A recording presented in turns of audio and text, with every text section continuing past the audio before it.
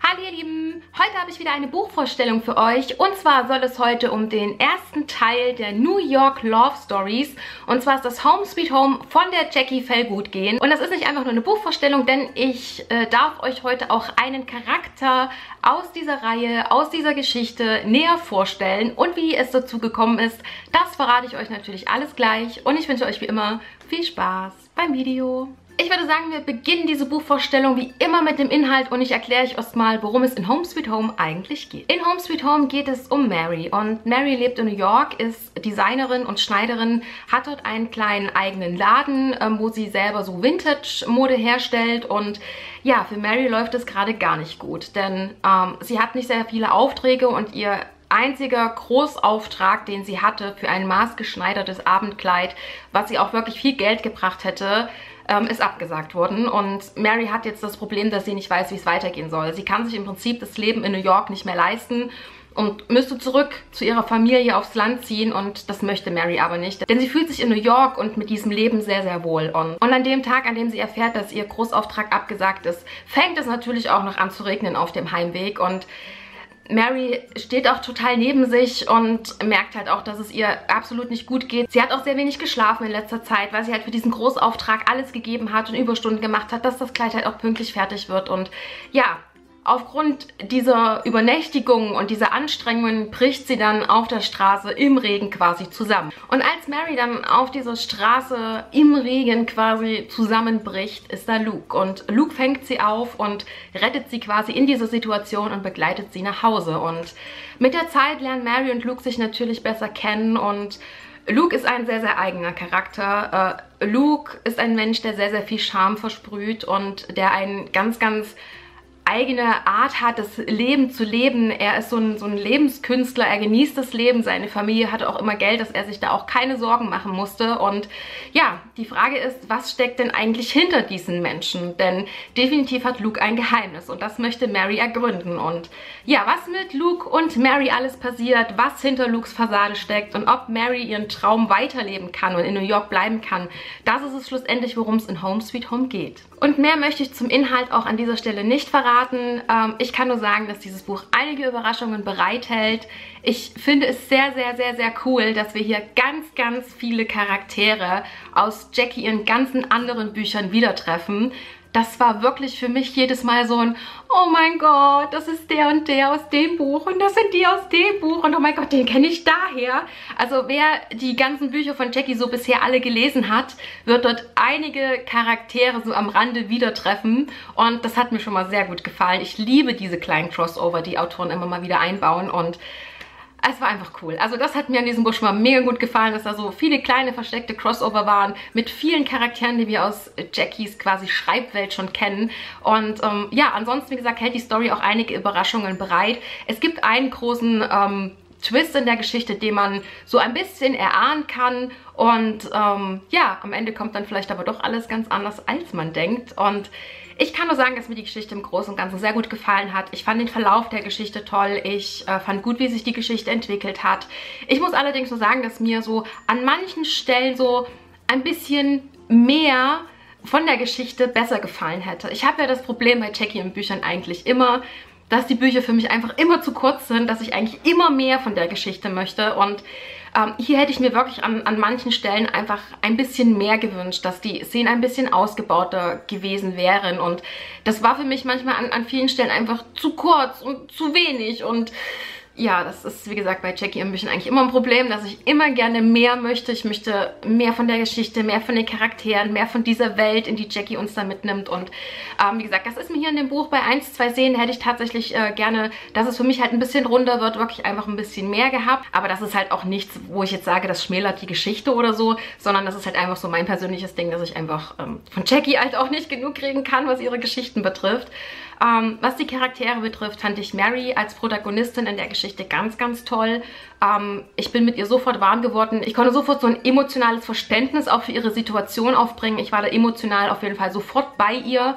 Und ähm, ja, wie gesagt, auch was sie in dieser Geschichte alles durchlebt und wie sie halt in dieser Geschichte ist, das hat mir sehr gut gefallen. Was Luke betrifft, hatte ich so meine Schwierigkeiten. Ähm, Luke war mir an vielen Stellen einfach unsympathisch und ich konnte ihn an vielen Stellen auch einfach nicht verstehen und ähm, das geht aber halt mit seinem Charakter einher. Ne? Also das Verhalten in dieser Geschichte hat auf jeden Fall zu seinem Charakter gepasst, aber er ist halt einfach so ein Mensch, wo ich sage so, das ist mir persönlich nicht so sympathisch, aber das ist halt auch wieder Geschmackssache.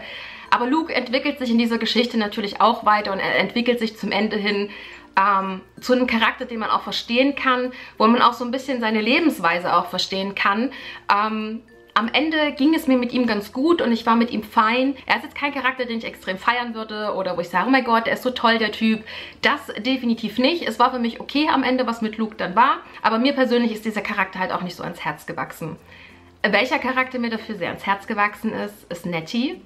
Ähm, Nettie ist ein Nebencharakter in der Geschichte und ähm, Nettie hat eine ganz bestimmte Rolle in der Geschichte. Und diese Geschichte hat ja einen bestimmten Hintergrund. Denn es ist so, dass ähm, Mary in einem Haus wohnt in New York und in diesem Haus gibt es besondere Regeln. Also man zieht dort nicht einfach ein, sondern ähm, es gibt Regeln, die einem von der Hausverwalterin, welche Nettie ist, vorgegeben werden.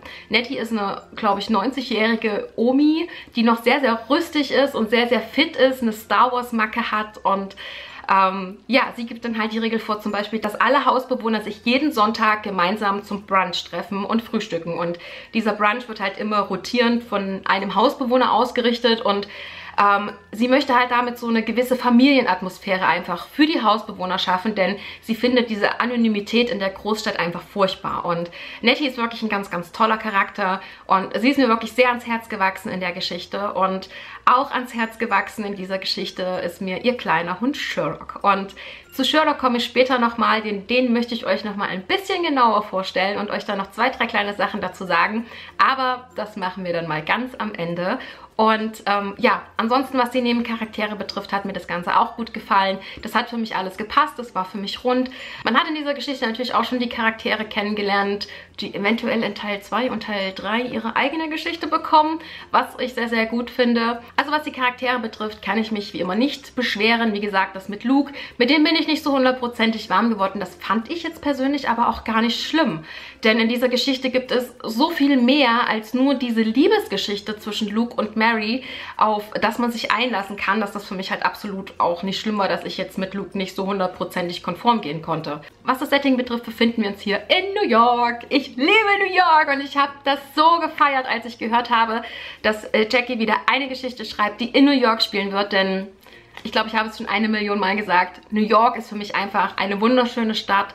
Eine Stadt, in der man sehr, sehr viel als Autor auch äh, mit den Charakteren machen kann. In, wo die Charaktere auch sehr viel erleben können. Und gerade diese Atmosphäre, die Jackie in diesem Buch geschaffen hat, mit diesem kleinen Haus in Greenwich Village, mit Nettie und diese familiären Atmosphäre, das fand ich wieder ganz, ganz toll. Und auch die Orte, die äh, Jackie in dieser Geschichte wieder beschreibt und wo sie mit uns hingeht, das fand ich wieder so toll. Und ich finde, Jackie kann einfach Dinge sehr, sehr gut beschreiben. Und Jackie kann Dinge so beschreiben, dass ich sie wirklich bildlich in meinem Kopf sehe. Also was das betrifft, hatte ich in dieser Geschichte auch wieder keinerlei Probleme. Vom Setting her es mir auch wieder super gut gefallen. Und ich glaube, was den Schreibstil betrifft, brauche ich nichts mehr sagen. Jackie schreibt einfach so wunderschön. Jackie hat ein ganz, ganz gefühlvollen Schreibstil, einen sehr ausdrucksstarken Schreibstil und ich finde, Jackie hat eine ganz tolle Ausdrucksweise, die aber nicht zu kompliziert ist, aber der Schreibstil klingt halt auch einfach nicht platt. Und das finde ich bei Jackie ihren Büchern immer ganz, ganz toll. Man kann diese Bücher extrem schnell lesen, weil sie einfach sehr locker und leicht geschrieben sind, aber gleichzeitig sind sie halt nicht einfach nur so platt dahingeplatscht, wie man das bei manchen sonst auch einfach manchmal das Gefühl hat, sondern ich finde, sie hat eine ganz tolle Ausdrucksweise und sie hat eine ganz tolle Art, diese Geschichten zu erzählen und das gefällt mir immer wieder gut und ich kann euch, was das betrifft, auch die Bücher von Jackie immer wieder nur empfehlen. Schaut sie euch an, allesamt. Ich äh, liebe die Bücher von Jackie und wie gesagt, Home Sweet Home Home hat mir auch vom Schreibstil her wieder sehr, sehr gut gefallen. Ich kann zu diesem Buch nur sagen, dass Jackie wieder eine ganz, ganz tolle Geschichte geschrieben hat. Dieses Buch ist ja nicht nur eine Liebesgeschichte, sondern auch eine Familiengeschichte und ich finde, das hat sie super rübergebracht und ich kann euch, was das betrifft, dieses Buch wirklich nur empfehlen. Home Sweet Home ist der erste Teil einer Reihe. Es sind bisher drei Teile geplant und ähm, es geht in dieser Reihe im Prinzip in den ersten drei Teilen um drei Geschwister und zwar sind das Luke, Ben und Jane. Und ähm, ja, im zweiten Teil wird es dann um Ben gehen. Ähm, das kann ich euch schon mal verraten. Und im dritten Teil dann um Jane. Und ähm, ich freue mich sehr auf den zweiten und den dritten Teil. Ich freue mich in diese Welt, die Jackie hier erschaffen hat, nochmal einzutauchen, Nettie nochmal zu begegnen und auch Sherlock nochmal zu begegnen. Mehr kann ich euch zum Buch auch nicht sagen. Und ich hatte ja zu Beginn des Videos gesagt, dass ich euch einen Charakter aus dieser Geschichte nochmal etwas näher vorstellen möchte. Und zwar möchte ich euch gerne Sherlock vorstellen.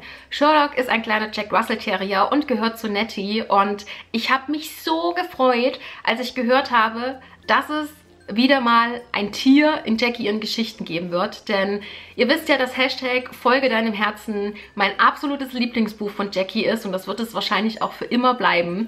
Allein weil dort Hunde so eine wichtige Rolle spielen und das hat mich damals halt sehr, sehr berührt. Und ja, wir hatten jetzt in Jackie in Geschichten sehr, sehr lange keine Tiere drin. Und Jackie hatte mich vor Monaten, als sie gerade dabei war, dieses Projekt zu entwickeln, gefragt, was würdest du dir denn in einem Buch wünschen? Und ich habe gesagt, ein Hund oder eine Katze.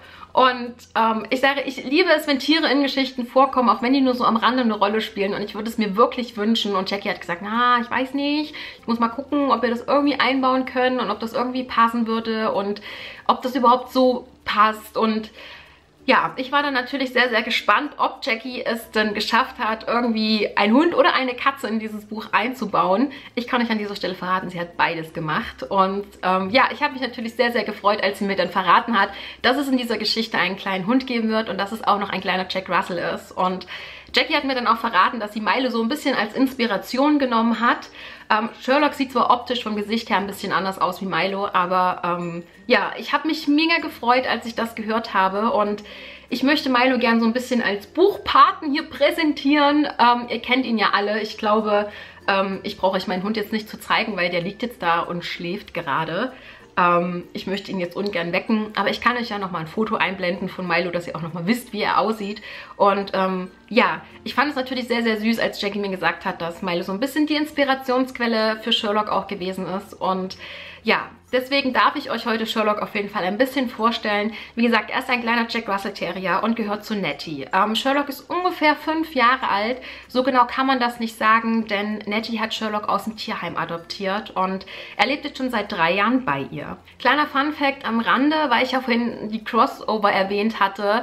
Sherlock stammt aus dem Tierheim ähm, von Hashtag Folge deinem Herzen, wo Sarah immer ehrenamtlich gearbeitet hat und Sarah von Hashtag Folge deinem Herzen ist auch die Tierärztin von Sherlock. Also ähm, das finde ich so cool. Also wo ich das äh, gelesen habe, das sind jetzt Informationen, die du jetzt in der Geschichte nicht hast, ne, die ich euch jetzt so verraten kann, weil die Jackie mir verraten hat. Aber ich finde es halt so cool, dass Jackie das alles so durchdacht hat. Das hat mir so gut gefallen und ähm, ja, ich sagte ja, Hashtag Folge deinem Herzen ist meine absolute Lieblingsgeschichte von Jackie und es freut mich natürlich sehr, dass ähm, dass so ein kleines Crossover auch in diese Richtung geben könnte es vielleicht auch noch in den Folgebänden. Man weiß ja nicht, was mit Nettie und Sherlock alles noch passiert, denn wie gesagt, es geht ja in dieser Reihe um dieses Haus, um die Hausbewohner und um diese Familiengeschichte, die sich da auch rundherum entspinnt. Und das heißt, Nettie und Sherlock bleiben uns in dieser Reihe auf jeden Fall noch ein bisschen erhalten und kommen hoffentlich auch in den Folgebänden wieder mit drin vor. Ich möchte euch natürlich auch noch erzählen, wie Sherlock denn überhaupt zu Nettie gekommen ist. Denn wie gesagt, er stammt aus dem Tierheim und ähm, Nettie geht immer gern am Union Square auf einen kleinen Markt und geht dort einkaufen. Und eines Tages, als sie dort auf diesem Markt ist, entdeckt sie dort einen Stand. Und an diesem Stand sind ein paar Highschool-Mädels, die Cupcakes verkaufen und die eine Projektwoche gemacht haben im Tierheim und jetzt Spenden sammeln möchten für das Tierheim. Und natürlich haben diese Mädels und auch die Mitarbeiter vom Tierheim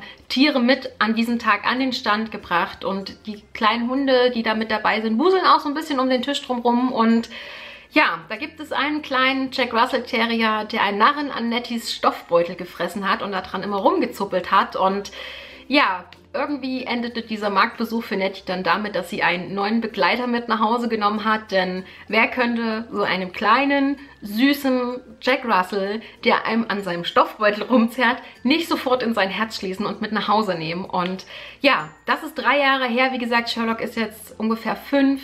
Ähm, er wohnt jetzt seit drei Jahren bei Nettie und hat dort ein sehr, sehr gutes Leben. Und ähm, wie er zu den Namen Sherlock gekommen ist, ist auch eine ganz äh, süße Anekdote. Und zwar, als Nettie ihn mit nach Hause genommen hat, hatte er noch keinen richtigen Namen, beziehungsweise die ähm, Mädels vom Tierheim haben ihn Pete genannt. Aber Pete ist so ein Name, der hat zu ihm überhaupt nicht gepasst, auf den hat er auch überhaupt nicht gehört und überhaupt nicht reagiert. Und ja, Nettie hat dann so ein Gespräch mit ihm geführt, ähm, was ich als Hundemama sehr gut verstehen kann. Ich rede auch mit meinem Hund und ich weiß, dass das absolut blöd ist, mit seinem Hund zu reden, aber ähm, man macht das halt trotzdem. Ne? Man vermenschlicht ja dieses Tier auch immer in gewisser Art und Weise. Auf jeden Fall führt Nettie dann mit Sherlock ein Gespräch. Und bei diesem Gespräch hat Nettie halt gesagt, wir können ja Sherlock Holmes spielen und äh, die Einnahmen suchen. Und als sie Sherlock gesagt hat, hat er reagiert und den Kopf so schief gelegt. Und dann hat sie das noch ein paar Mal wiederholt und hat halt gemerkt, dass er auf Sherlock anspricht und hat ihn deswegen Sherlock genannt. Und ich finde den Namen Sherlock für einen Jack Russell wirklich richtig, richtig cool. Also das muss ich mal wirklich sagen, wenn ich mir so einen kleinen süßen Jack Russell vorstelle und der dann Sherlock heißt. Das finde ich so mega süß. Und ähm, Sherlock hat natürlich auch so Lieblingsplätze. Da muss ich jetzt mal ganz kurz abspicken, wo die denn genau sind. Die verrate ich euch an dieser Stelle auch nochmal. Und zwar seine Lieblingsplätze sind im Körbchen zwischen den Barhockern in Netties Küche, in dem fliederfarbenen Hundekörbchen in Netties Schlafzimmer, in Marys Laden unter dem Tisch mit dem Grammophon auf dem Kissen mit den dicken goldenen Quasten und auf Netties Schoß natürlich und unter Stühlen vorzugsweise die, auf denen Nettie sitzt. Und ich kann das so gut nachvollziehen, ne? Zum einen hat Sherlock auch quasi in jedem Zimmer irgendwo ein Körbchen liegen. Das kenne ich von meinem Hund auch. Der hat in jedem Zimmer hier bei uns in der Wohnung irgendwo ein Kissen oder ein Körbchen liegen, wo er immer drauf gehen kann, dass er halt auch einfach die Auswahl hat. Deswegen, ich, ich finde das so lustig und ähm, ich kenne das halt von Milo, dass er auch sehr oft auf meinem Schoß einfach liegt und schläft. Und ich kann diese Lieblingsplätze von Sherlock also als Hundemutti auch sehr, sehr gut nachvollziehen. Und Sherlock wäre natürlich kein richtiger Jack Russell, wenn er nicht gerne Blumenbeete umgraben würde. Das kenne ich von meinem Hund auch. Da kann ich noch eine kleine Anekdote erzählen. Als meine Großeltern damals ihren Garten noch hatten ähm, und mein Opa das Kartoffelbeet umgegraben hat und mit dieser Schaufel da so angefangen hat zu graben, stand keine Minute später Milo daneben und buddelte wie so ein Verrückter in diesem Beet rum. Der hat vorher noch nie bei meinen Großeltern wirklich auf den Beeten rumgesprungen und hat da Löcher gegraben. Aber als mein Opa anfing, das zu machen, hat er sich gedacht, geil, der Opa macht das, ich mache mit. Und immer, wenn Opa angefangen hat, in den Beeten rumzugraben, kam Milo und hat das mal voll mitgemacht. Und die sind ja dann, ne, die sind ja dann wie die Bekloppten. Die sind ja dann wie in Trance und buddeln und buddeln und buddeln und buddeln. Und irgendwann siehst du die ja gar nicht mehr in dem Loch. Und das, das ist so niedlich und das ist so witzig, wenn du das mal beobachtest. Und wie gesagt, Milo hat es halt wirklich auch nur gemacht, wenn Opa selber in den Beeten rumgegraben hat. Und, und natürlich ist Sherlock ein Jack Russell und gräbt natürlich auch sehr, sehr gerne Beete um. Und natürlich tut Sherlock auch sehr, sehr gerne spazieren gehen und die Gegend erkunden. Aber Sherlock ist halt auch ein kleiner Schmusehund und ähm, lässt sich sich natürlich auch sehr, sehr gern hinter den Ohren kraulen und das Köpfchen streicheln. Und ähm, ja, Sherlock ist halt ein richtig niedlicher, süßer, toller Jack Russell. Und ähm, ich konnte mir das so gut vorstellen in dem Buch. Natürlich bin ich zum einen auch Hundemutti und ich weiß, wie die kleinen süßen Babys sind. Und ähm, ich fand das immer süß, wenn Sherlock irgendwo in diesem Buch erwähnt wurde. Und ich dachte dann immer so, oh, ist der goldig, ist der niedlich. Und ich hoffe natürlich, dass uns Sherlock in dieser Reihe erhalten bleibt und dass wir ihn noch ganz, ganz oft in dieser Reihe sehen werden und sehen werden, was er gerade so tut und was er gerade macht. Und ähm, ja, da freue ich mich auf jeden Fall schon sehr drauf. Und ihr alle da draußen, die gerne Geschichten lesen, wo Tiere mit drin vorkommen, Schaut euch die New York Love Stories an, schaut euch Home Sweet Home an. Ich fand dieses Buch wirklich, wirklich süß. Es ist eine tolle Geschichte, wie gesagt. Es ist nicht eine pure Liebesgeschichte, es ist doch eine Familiengeschichte und ich kann euch das Buch wirklich nur empfehlen. Ich freue mich auf die Fortsetzungen und ähm, ja, mehr kann ich an dieser Stelle nicht sagen. Ich bedanke mich bei euch auf jeden Fall wie immer fürs Gucken, wünsche euch noch eine schöne Woche und wir sehen uns beim nächsten Mal wieder. Bis dann, macht's gut. Tschüss.